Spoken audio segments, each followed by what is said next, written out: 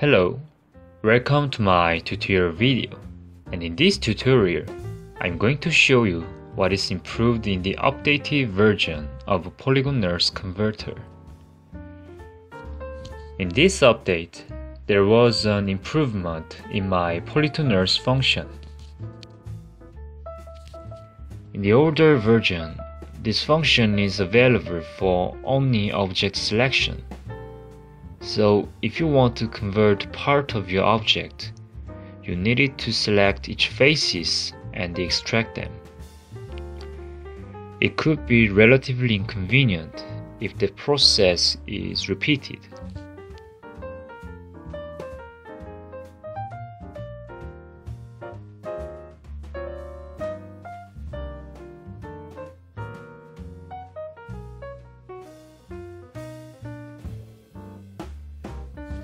So, in this latest version, it is possible to convert selected faces from your object directly without extracting them.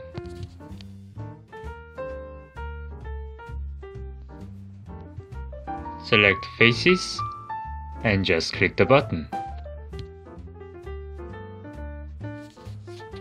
Also, quad check is possible for selected faces and all selections from multiple objects can be converted, whatever it is objects or faces.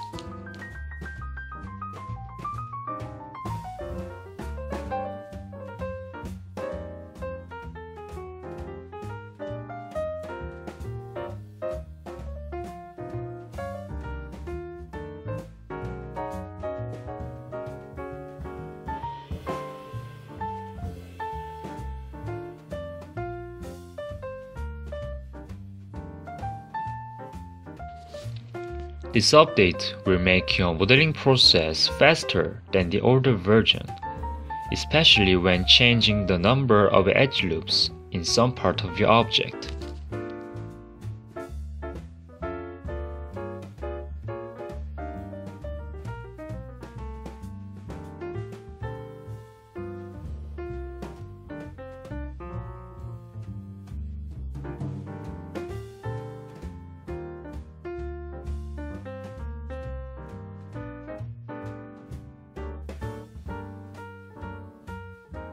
So, from this update, you can use PolyToNURBS function more conveniently and with less command.